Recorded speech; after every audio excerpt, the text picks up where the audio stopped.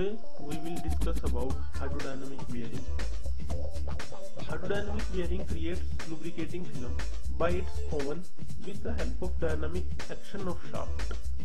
Firstly, we will discuss about the parts of the hydrodynamic bearing.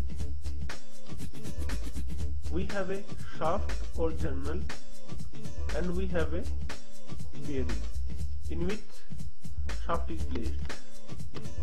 The upper portion is bearing and inner portion is shaft or journal. Now see the side view of the drawing. This is shaft or journal and this is bearing and in between these two there is a lubricating oil.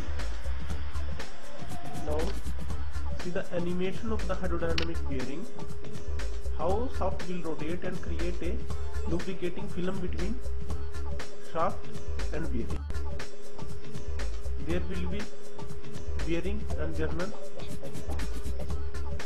The shaft will rotate and create a lubrication film between shaft and bearing.